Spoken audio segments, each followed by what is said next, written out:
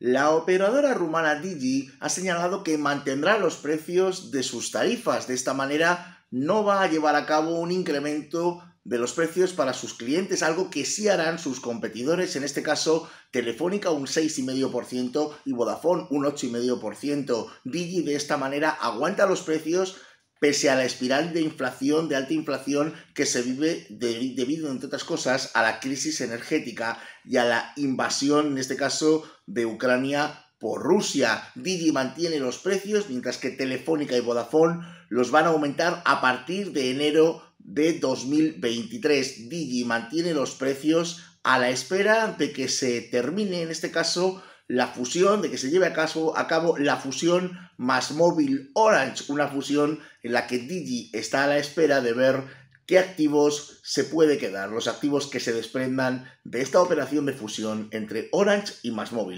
De momento, Digi sostiene los precios.